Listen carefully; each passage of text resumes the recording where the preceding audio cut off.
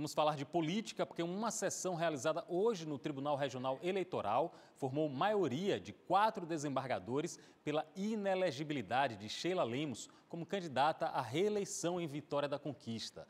A interpretação do tribunal é de que a mãe de Sheila, Irma Lemos, que foi vice na chapa do ex-prefeito Erzen Guzmão, assumiu o governo por alguns dias em 2019 e 2020, enquanto o prefeito fazia tratamento de saúde.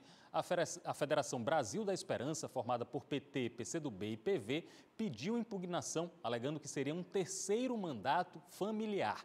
O julgamento foi suspenso hoje porque o desembargador Moacir Pita Lima pediu vistas no processo. Mesmo assim, a maioria já se definiu pela inelegibilidade. A campanha da candidata do União Brasil emitiu nota informando que cabe recurso ao Tribunal Superior Eleitoral e ao Supremo Tribunal Federal e que acredita que a candidatura vai ser confirmada nos tribunais superiores. Especialistas em direito eleitoral consultados pelo Aratu Notícias informaram que Independentemente do resultado, a campanha segue normalmente e a candidata pode ser votada na urna no dia da eleição.